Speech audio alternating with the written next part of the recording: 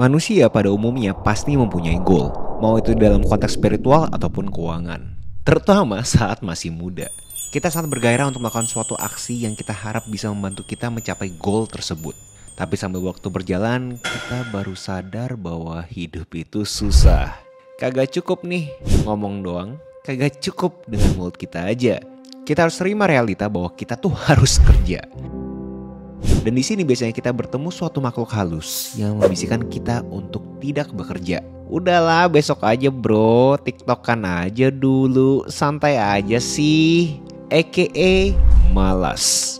Dan karena kita tidak mau diasosiasikan dengan kata malas, kita pakai kata-kata yang lebih keren, yaitu prokrastinasi. Gue juga sama kayak kalian orang yang demen banget prokrastinasi. Kalau kerja deket deadline, yang orang-orang bilang tuh the power of kepepet. Dan ternyata beneran ada grafis yang mengilustrasikan gaya kerja males-malesan ini yaitu yang namanya Parkinson Law, di mana usaha ada di y-axis dan waktu ada di x-axis. Saat kita mendapatkan suatu tugas yang deadline-nya panjang ya kita pasti nyantai.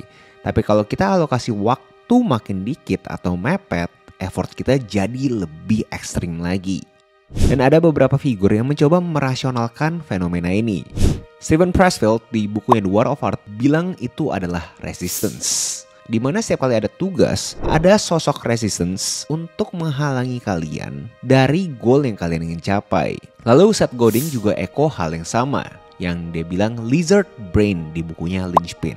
Di mana sebenarnya kita tuh takut karya kita tuh B aja kita kagak mau nyelesain lebih cepat karena kita kagak ingin terima realita bahwa kita tuh tidak spesial. Di mana dia argue untuk kita sampai ke kualitas yang ideal kita butuh kuantitas. Bukan quality over quantity tapi quantity builds quality. Jadi buat orang-orang yang suka procrastinate, mereka itu menciptakan narasi bahwa mereka tuh kagak ada waktu. Karena gampang untuk sembunyi di belakang narasi tersebut dibandingkan beraksi. Ada juga tim urban yang bilang bahwa ini adalah monkey brainnya kita. Di mana di argue ada dua sistem di otak kita yang satu kayak monyet dan satu yang adalah rasional dan logical. Dan kalau kita mau jadi yang high performance worker, kita harus mengecilkan si otak monyet ini. Tapi emang susah karena lebih gampang kita buka HP, scroll, abis itu ngatain orang di internet dibanding melakukan sesuatu yang produktif. Caranya gimana untuk bikin monyet ini pergi? Dengan memanggil si monster. Monster deadline palsu. Rawr.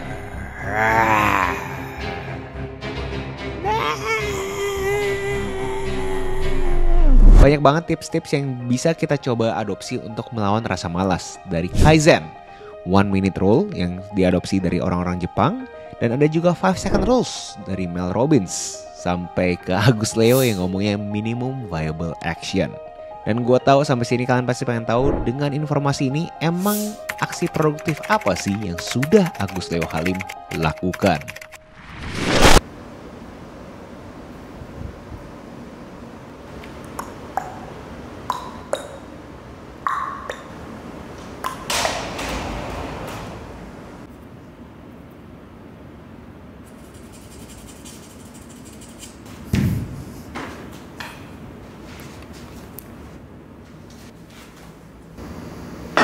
Gue tahu kalian pasti skeptis kayak bro talk is cheap ngomong mah gampang tapi dengan informasi ini emang lu kagak pernah prokrastinasi jelasin gue pernah prokrastinasi pasti gue juga pernah malas-malasan tapi dengan informasi ini apa aja sih yang gue pernah lakuin untuk yang ada jejak digitalnya dan kalian bisa validasi apa yang gue ngomong ya gue bisa ngomongin YouTube-nya gue. Di tanggal 16 Desember 2020 gue memulai YouTube ini. Secara akademis gue terbelakang, shot gue gitu-gitu doang.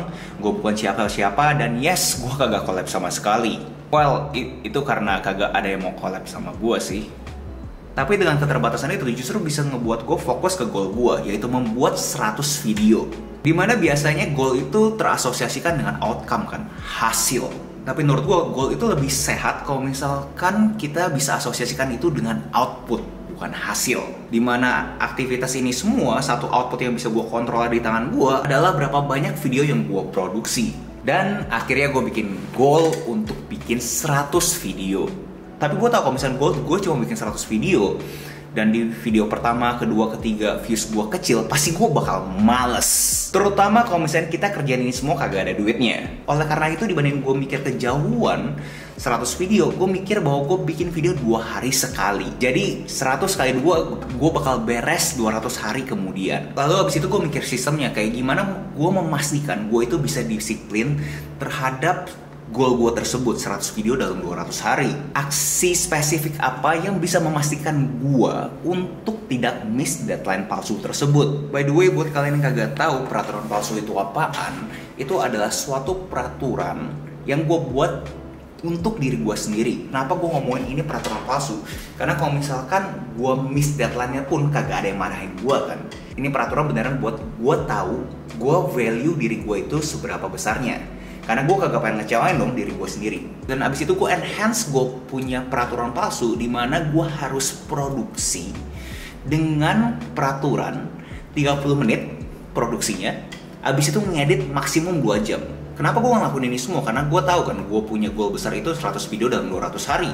Dan dari goal besar tersebut, gue berasa kalau misalnya gue terlalu mempunyai rasa idealisme, pasti akan susah untuk fulfill goal tersebut. Dan di sini gue juga pengen mundur dikit dari tadi ini ya, gue ngomongin dalam konteks profesi ya guys ya. Karena gue tahu beberapa dari kalian pasti jiwa idealismenya sangat tinggi dan kalian harus memegang teguh kalian punya kualitas. Di mana kalian pasti bilang bahwa Bro namanya seniman itu kagak boleh dipaksa oleh waktu Harus ngeflow bro. Oke tapi buat kita kagak ngelebar ya Ini konteksnya adalah profesi kerjaan. Dan gue butuh menekan rasa idealisme gue dengan peraturan-peraturan palsu tersebut untuk menjadikan diri gue studi kasus di mana orang kalau misalnya bukan siapa-siapa jadi youtuber bisa dapat apa sih? Hasilnya kayak apa sih? Kenapa gue share ini semua? Karena banyak banget dari kalian yang DM gue atau bahkan kalian yang beli ibuku 20% viral bingung kenapa kalian itu males banget bikin konten. Sharing bahwa kalian tuh males banget untuk ngelakuin sesuatu. Di mana argumen gue kagak ada orang yang males di dunia ini berdasarkan Parkinson Law. Yang ada adalah orang kebanyakan waktu terutama kalian yang nonton sampai sini karena kalian mempunyai ekstra 5 menit untuk melakukan suatu aksi yang lebih produktif tapi kalian malah konsumsi video Agustio Halim kagak salah ya tapi ya itu namanya pilihan hidup. Jadi kagak usah bingung kenapa kalian males karena kalian memilih untuk males. Malas itu pilihan bukan perasaan.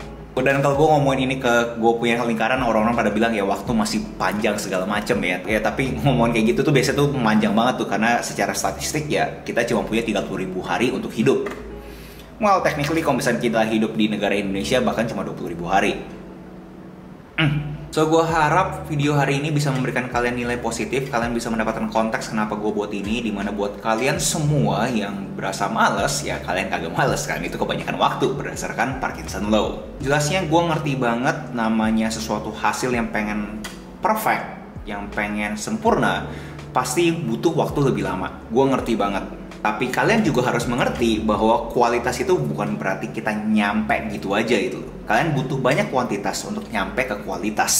Poin besar adalah kagak ada salahnya kerjaan yang 4 minggu kemudian kalian hajar ke hari ini juga. So buat kalian yang mempunyai tugas yang 4 minggu kemudian harus kalian submit ya kerjain hari ini juga. Karena kagak ada salahnya kan. Kalau misalnya sekarang ada buku yang kalian baca, ya baca sekarang juga aja guys. Dan kalau kalian mau bikin usaha via website yang gratis, kalian bikin juga pakai namanya linkit lnk.id di mana itu adalah website builder yang keren banget. Semua custom feature di Linktree Pro di Linkit gratis dan kalian bisa langsung jualan. Kalian punya digital product dan physical product. Nextnya kalian mau gue ngomongin video essay apa tinggal komen aja di bawah. Jangan lupa like, comment, subscribe nyalain notifnya, share ke teman kalian and I'll see you next video. Salam kreatif. By the way guys buat kalian nonton sampai sini gue pengen kalian kerjain apa yang harus kalian kerjain yang deadline itu masih jauh.